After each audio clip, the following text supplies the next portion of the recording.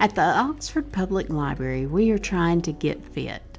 Come join us every Monday at 9 o'clock for Qigong.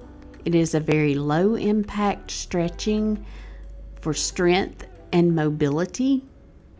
We would love to see you.